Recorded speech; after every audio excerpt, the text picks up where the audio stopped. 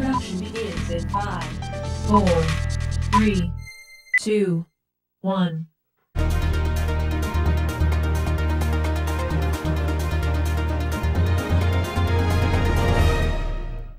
Welcome to Community Foundation Spotlight. I'm Spicer Bell. I'm the president of the Community Foundation of the Eastern Shore. And through this series of programs, uh, we, we shine that uh, spotlight on uh, nonprofit organizations and other activities that are making a difference in our community.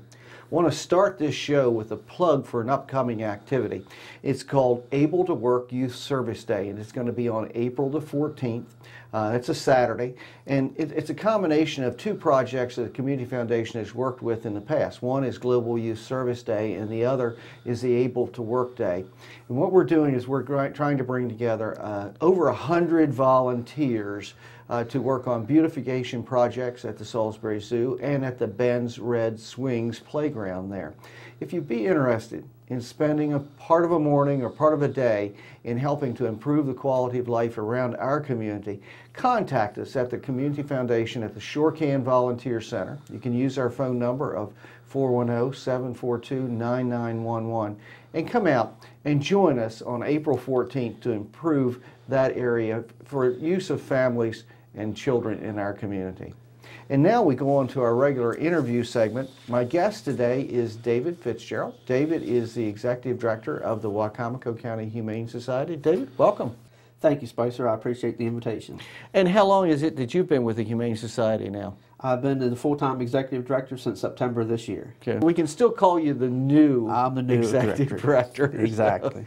well, welcome. Uh, certainly, David, I've had enjoyed my opportunity to get to know you and and uh, we've been fans of the work of the Humane Society for a number of years. We, we know it's, the work you do is very, very important. But can you give our viewers a little bit of background on the Humane Society, a little bit of the, sure, sure. the history of uh, County? Humane Society was started in 1969. Uh, a group of people got together who were interested in animal uh, safety and uh, protection of animals and adopting animals, and they formed an organization, uh, nonprofit, in 1969. Uh, in 1970, they started working with the county and the city of Salisbury, and they started on Marine Road. Uh, since that time, uh, in the late 80s, early 90s, we moved to our current location, which is 5130 Citation Drive. A lot of people uh, don't know where that we are. where that is, uh, it, it's kind of out of the way. We're out of the way. We're back by the airport uh, off of Fuchs Road near the transfer station and the FedEx complex. So usually we reference the airport and then tell them we're near FedEx or near the state police hangar, mm -hmm. and people try to find us. But mm -hmm. um, uh, intrigued every day the number of times on the telephone the staff has to give directions. Mm -hmm. And yeah. uh, my wife works in, in, a complex, medical complex with hundreds of people, and she mentions Humane Society. Oh, we have one of those in Wicomico County. so, so, so uh, we've been there quite a few years, and uh, we offer a lot of services, and mm -hmm. we'd like for people to come visit us. I think there's often confusion about the Humane Society in that there, there are people who think you are a county agency or something, and you're not. You're no, we're, we're a nonprofit organization. We do have agreements with Wicomico County government and the city of Salisbury for sheltering. Uh, we also are connected to county government for animal control, mm-hmm. and I think I agree with your assessment. Uh, the people get things uh, confused. Uh, one of my goals since I've been there is to uh, divide the organization into two divisions, and we have our animal control division, and that is more a county government function by charter under the county executive, and the sheltering, the uh, animal sheltering, the adoptions, our public education. That's our nonprofit mm -hmm. side. So I've tried to help educate the public and divide those two divisions. So hopefully we can we can educate the public that we are a nonprofit organization. Mm -hmm. Well, of course, we work with with donors and people who are interested in doing philanthropic work and there's the SPCA and there's the I think the American Humane mm-hmm. Society and those sorts of things. But but you really you're not affiliated. You're not connected with them. No, no, we're not connected. We actually have to join and be members. Uh, just like you would donate to them and be a mm-hmm. member, we have to donate and we get our little membership card as well. Uh, the support that we get is not monetary. Uh, those organizations provide us more reference material. Mm -hmm. uh, we can call those organizations if we have a cruelty case or if we have uh, educational needs. And we go to the website just as the public would and download things, and we can call and get some resources. But no, your donations, uh, while they're fine organizations, those donations do not come back to the local community. So we encourage the people to donate to the, the Wicomico County Humane Society, uh, our nonprofit organization, and your money stays local. Stays local. Stays local. Absolutely. And that's what we encourage. And you mentioned about uh, uh, people that come to visit the community foundation and want to bequest money. Well, they, they can certainly work through your organization and do that as well to help us. Sure, and and we've worked very closely with uh, with your organization, and uh, your board has, has built a couple of nice endowments that I think help uh, maintain your facilities and and that Right. sort of thing. Let's uh, let's I want, I want to pursue that just a little bit. Uh, so that people can find you, and we want to get this on the air a couple of times. Okay. You have a website. It's a great website. Yes. Give that website address, and I know we'll show it on the screen. Sure, it's uh, and we are working to revamp that website. We're very excited, uh, working in house and with, with a partner to uh, enhance the website. You're going to see a lot of new features. One of the new features that's already been implemented is our event calendar. If you go under events, you can print out the full month's calendar, put it on your refrigerator, uh, see what we have going on. You can go to the specific day and also print that specific event and get more information. So we're excited about that uh, enhancement already. But you're going to see a, a, a revamp of the entire website probably in the next 60 to 90 days. Great, great. Well, it's it's very helpful already. I, I was had, have, was looking at it a little bit in preparation of, of for today's show. Um, what kind of walk us through the services that the Humane Society provides? Okay, well, as I spoke earlier, we have two divisions our animal control division, and that's the animal control officer who goes to complaints. Uh, we try to have a proactive service, but with our staffing, we are only uh, approved through budgetary funds of an officer four hours a day. A lot of people don't realize that, and they uh, complain or they, they have concerns that they're not responded to very fast. Uh, I'm deeply committed to customer service. However, the budgetary constraints at this time is an officer four hours per day. Uh, that's funded through Wicomico County government. Uh, that officer again responds to usually barking dogs, running at large, uh, injured animals when the officer's available. Uh, so that's that's our animal control division. Then we That, have, that, that, that person has uh, what appears to be an, a, a, a, a sick raccoon or something on their property. That you get those calls. well, we get those calls, but we only handle the domestic You animals. only handle domestic. Who handles those other Uh, calls? we refer all the wildlife calls to the Natural Resources Police. Okay. We'll, we'll take care of dogs and cats, but we do get calls. We got a call this week of a bird in a house. we get calls about bees and wasps. A uh, lot, of, lot of calls. Some, some you, you're, the caller's very You're serious. not an exterminator, Right, we're not an exterminator, and we don't handle wildlife, unfortunately. Uh, but our, the dogs and cats, we take care of uh, dogs mainly. There is not. That's another uh, misconception in the county. Uh, we get a lot of calls for cats. There is not a cat ordinance in our resolution in Wicomico County. Our officers cannot go out and trap cats. They would be violating the law as well because the law doesn't exist uh, for the animal control officer to trap cats.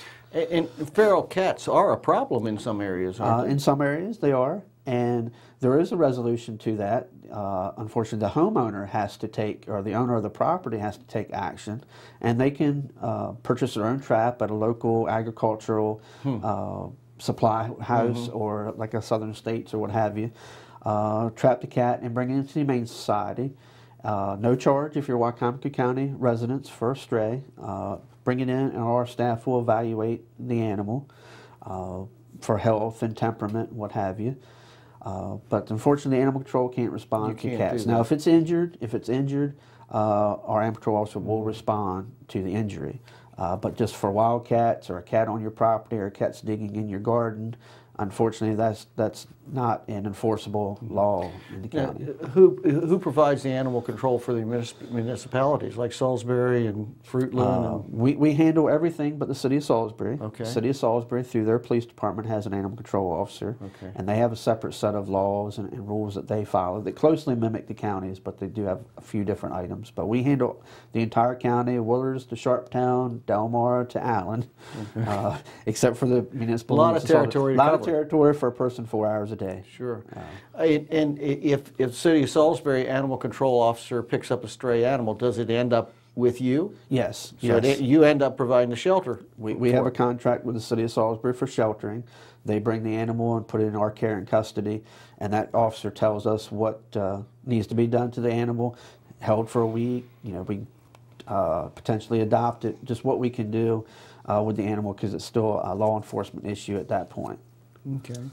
A- Any particular unique animal control calls you've gotten since you've been around? I, I would say just well, like You I mentioned said, the, bird- the birds, birds and the bees. bees and the raccoons. Uh, we, we do get calls at hunting time. Uh, first day of hunting season, we experienced an increase of calls. People uh, shooting, shooting in my backyard. We refer those type of calls again to Natural Resources Police. But there's people who move from a urban area to our rural area, and in the first day of hunting season, and those uh, shotguns and rifles and what have you uh, start shooting. People think they're being shot at in their backyard, but it's echoing through the woods. And so those type of calls. Uh, bats, we've had calls about bats in houses, but again, exterminator or refer, refer them to natural So you don't have any bats available for adoption no, currently? no, no. Uh, we do get a, a lot of different things. Since you mentioned that, uh, our other part of the organization, our other division is the, is the sheltering division, and that's uh, what I call the fun part. That's that's where you you. Uh, get the forever homes for the dogs and Makes the cats. people real happy. Makes people happy. Makes some animals happy. Yeah, too. makes the animals happy, makes our staff uh, feel rewarded. They've done a good job uh, caring for the animal, getting its new forever home. So we uh, have a variety of animals, dogs, cats currently. We have two horses currently. Uh, you can go on our website, that's the right on the front page, the home page, and read about two horses that we've had since September. They're, they're, they're, uh, they're pretty good looking horses. Oh, they, they are. They- uh, they're, they're being well cared for. We've been very gracious. Some of our local uh, equine veterinarians have donated some of their services to them, to us, to, to care for them. Uh, the uh, being boarded very well. So if someone's interested, they can call our shelter, visit the website, or call 410-749-7603, and just ask to uh, speak about the horses, and, and we'll uh, give them information. We'll put them in touch with the boarder so they can make an appointment, show them how they can apply for the animal, and we, we'd love to get them uh, forever home. We've had them since around September, October. They're in good health. They've gained a lot of weight since we've had had the horses in our care, and we would love someone should enjoy them for the rest of their lives. And, and that was, uh, kind of, that was a, a neglect complaint. It was an animal control, started as an animal control issue uh, with a cruelty, neglect complaint, and our animal control officers went through the process, the legal processes, and the uh, owner at that time decided it was best to, uh, understood that they could not care for them, recognized that, talked with their family, and thought it was best to surrender them to us so we could provide them good care and find them a new home. Great, and they're in a lot And it- better shape. Yep, a lot better shape. So, uh, and we get bunnies and stuff. We're waiting for that. Easter's coming. Oh, yes. Easter's coming, so we, we were having discussion in the shelter yesterday. Uh, how many bunny cages do we have, and uh, that type of thing. And we keep a list uh, for those specialty animals. Uh, if someone's interested in these specialty animals like birds or rabbits uh, or guinea pigs, they can call and we'll put their name on a, on a list for those specialty animals. We don't keep a list for specific breeds of dogs and cats. We encourage you to visit the website and come in. But specialty animals, we'll keep a list. Uh, usually, what happens is uh, a child and the parents think, uh, okay, it's Easter, let's get uh, Johnny or Sally a nice bunny. Well, two weeks of that, and uh, oh, we're done. We're, we're done with that. We can't take care of this. This is a mess. Uh, let's bring it into the Humane Society. Now, I know you also, another uh, service you offer is a spay and neutering clinic. Uh, Very, very, very proud of that. Very proud of that clinic. That's a uh, spay neuter clinic. Uh, we call it. I call it reduced cost. It's not low cost, but it's reduced cost. Uh, usually one third of what you can have spay neuter done at a veterinary hospital or vet, vet's office. Uh, because we have lower overhead, we also don't keep the animal overnight, so our costs are reduced. We also look for specialty grants or donors who make special donations to the spay neuter clinic so we can offer it at a reduced cost. Uh, that's available to everybody, not only Wicomico County residents, that's available to anyone to come in. Uh, we encourage the spay neuter for a couple of reasons. One, the population. You mentioned the feral cats earlier. If we can control the pet population, as Bob Barker used to say on The prices, Right, uh, that's going to help us greatly. Going to help the community, public safety, public health. Uh, we usually operate that on Tuesday, Wednesdays, and Thursdays. Uh, if someone's interested in that, again, call our shelter, 410-749-7603. Uh, they'll explain the cost, the prerequisites, uh, what you need to do with the animal prior to coming in, and we'll take an appointment. Uh, usually we run Tuesdays, Wednesdays, and Thursdays. Uh, we've just uh, worked with another vet last week, and we're going to open some on Fridays now because of the demand. Uh, so you can make an appointment, and we'll be glad to have you come in. Great. Uh, you're watching Community Foundation Spotlight. Uh, I'm Spicer Bell with the Community Foundation of the Eastern Shore. My guest today is uh, David Fitzgerald, and David is the uh, Executive Director of the Wicomico County Humane Society. And we're learning a little bit about the Humane Society and, and some of the, the services that they, they offer. Um, and we were talking about the, their, their uh, spay and neuter clinics. And if you have a pet that hasn't, has, uh, hasn't been spayed or neutered, uh, it's a good way to get that service. And once again, why is that so important, David? Well, the, the first reason that, that I talked about was the pet population, uh, to control the population. Uh, it also helps for our animal control. Uh, people don't realize that a male dog can uh, smell a female dog and heat three miles away. Oh my gosh. So, so that's why we have the running at large calls Mm-hmm. uh, because that male that you've let out for, you've done it a hundred times. You open the back door for the dog to go out to, to use the bathroom. Well, it goes out to use the bathroom and gets that smell of that female dog. He's gone. He's not been neutered. He's gone. He's going to look for a mate. So, so that helps us with animal control. Another important part. I, I had one of those dogs once. It's it's it's it's normally very well behaved and would be right there back at the door when you went to open it. And every once in a while, he wasn't. he wasn't. He he, he got that whiff. So we and- got that and- taken care of. right, and, and the uh, uh, the health of the animal as well. For a male animal, the testicular cancer, just like in an adult, uh, if you're removing those and, and neutering that animal, you've removed that risk, uh, health risk to that male uh, dog. Same thing with a, a female. Once you spay the female and take out the female organs, you've reduced that risk of cancers and other medical problems, as well as the, the, the mess that occurs when, when the female goes into heat. Uh, we do have people that the first time their dog goes into heat, they're, they're in a panic. Can you get us in the clinic? Uh, what do we do with all this mess? What do we do with the 10 dogs that are outside my house that have showed up? So we encourage it for two reasons the, the, the pet population and the health of the animal. We, we certainly want you to have your pet many, many years, and that will certainly reduce the risk of some of those diseases. Any given, t- it, it, it, it, it put you on the spot with some statistics. How many animals go through the Humane Society in any on an average year? Do you know? Well, yes, uh, intake, we, uh, 3,000 to 3,500 animals come in each year uh, to the Humane Society. Our goal is to find those animals a, a home if their health and temperament uh, fits an adoption. We also work with rescue organizations. Uh, that's why our cats in the shelter are low. Uh, we are gearing up, as we talked about for rabbits with Easter, we're gearing up. Kitten season is coming. Uh, so we know we're going to have an influx of them. But we are very, very fortunate to work with several rescue organizations for both dogs and cats, but mainly cats.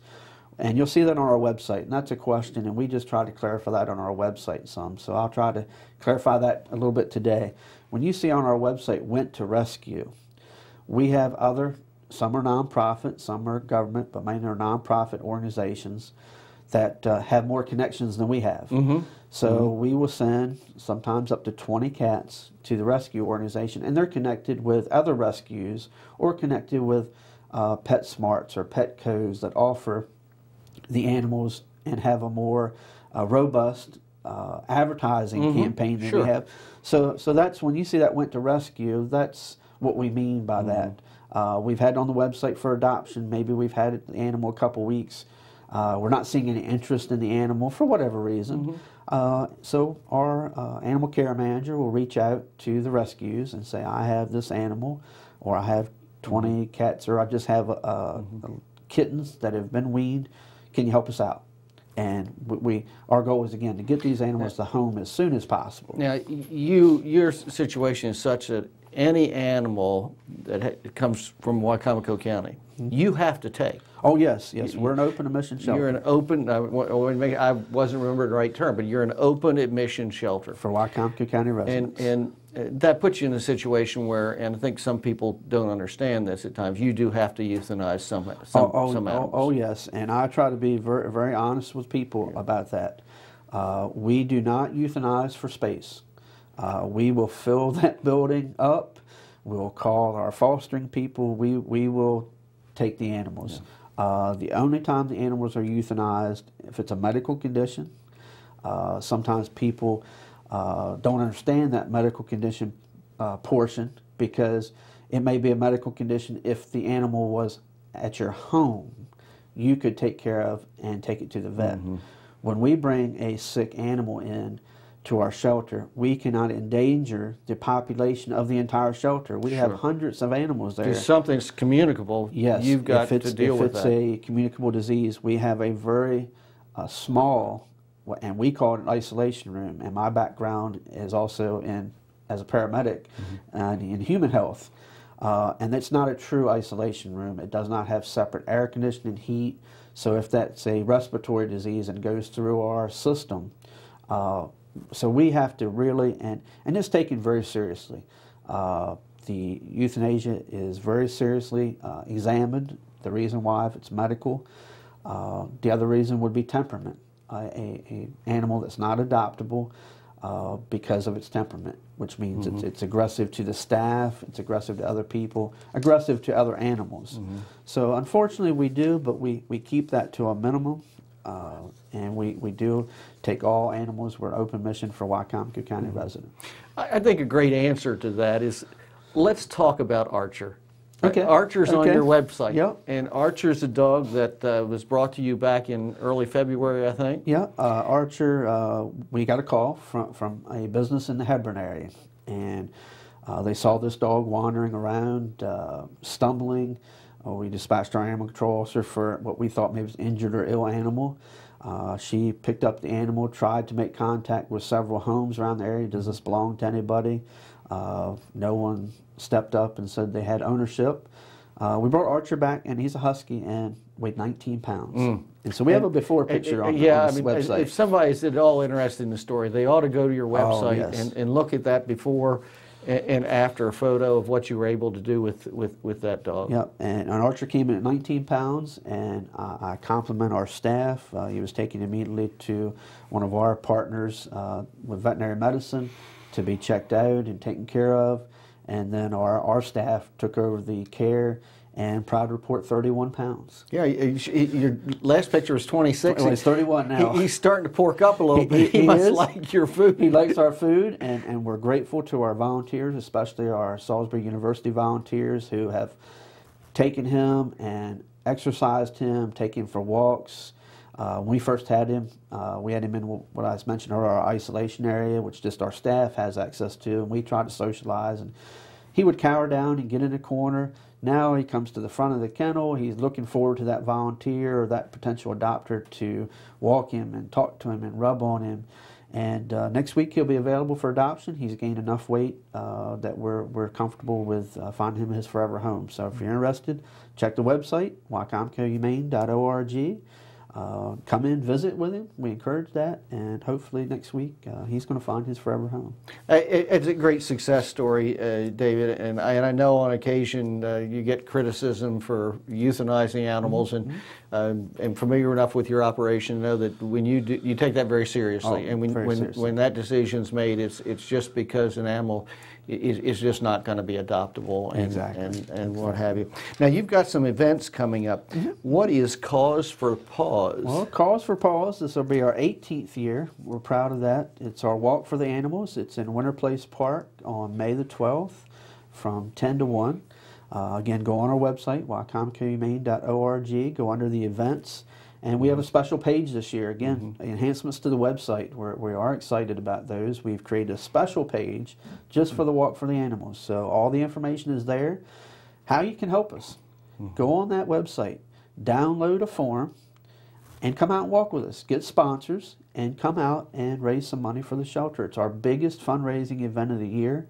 Uh, there's going to be plenty of other activities. So even if you don't have an animal uh, to come and walk, come out and support our vendors, our sponsors, uh, visit with the animals. Uh, most all pet owners will let you, uh, you know, socialize with their animal, but there's going to be uh, vendors, Mm-hmm. not only animal-related vendors, but we've expanded that as well. Uh, we're reaching out to other vendors, uh, such as we've visited our local farmers markets to ask those vendors to come. So it'll be a nice day for you at Winter Place Park. So May the 12th, come, come out from 10 to 1. Uh, there'll be food. There's also going to be demonstrations. Our Wicomico County Sheriff's Office, who we work closely with, is going to have a canine demo. And we may have some other surprises as well. Great. So Put it on your calendar. Yep. Uh, we're we're going to keep our fingers crossed that you have For a good beautiful weather. day. a We- beautiful Weather's spring always, day. always scares us, but we are, we are hoping for a nice spring day. Yeah, I'm, I, I- I'm sure, I'm sure you will. And it's a great opportunity. You don't have to have a dog or cat No, to come out. You can, if you just have an interest in, in, in animals or uh, supporting Humane Society, it's a great way to do that.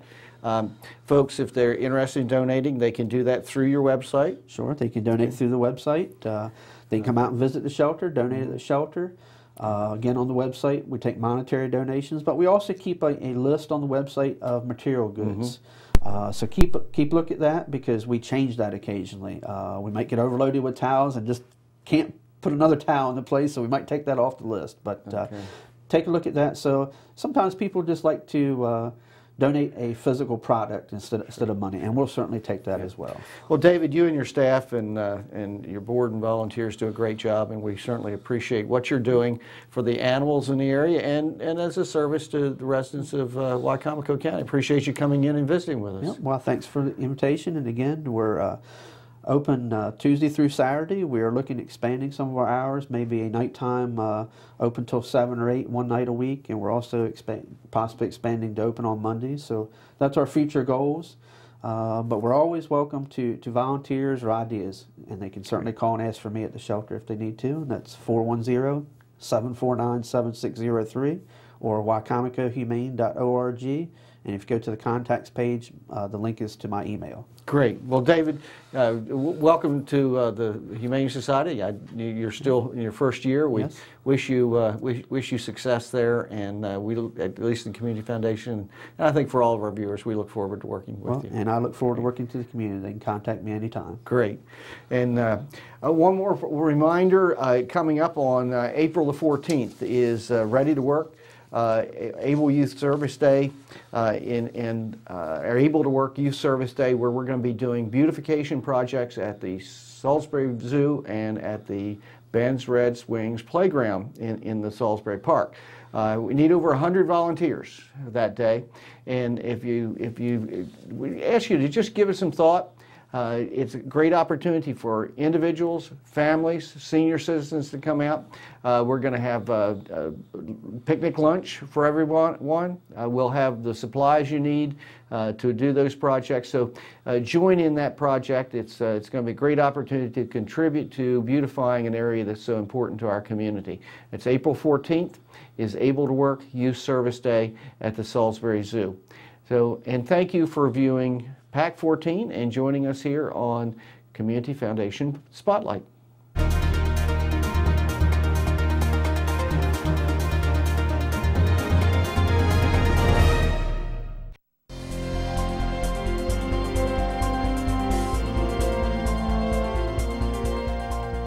Would you like to see your community organization or nonprofit group featured on PAC 14?